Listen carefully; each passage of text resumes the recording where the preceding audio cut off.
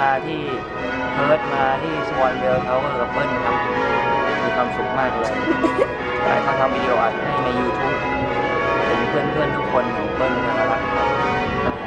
พูดด้แม่มาเห็นเปิ้ลหรือยัง สวยหรือยังหรือหน้าดำแล้ว ได้เห็นรูปคู่มากับราแล้วนะอ่าอ่าเร็วไปเร็วแล้วอ่าอ่าหมดไม่รู้หมดหมดคิวหรือยังอะรัฐ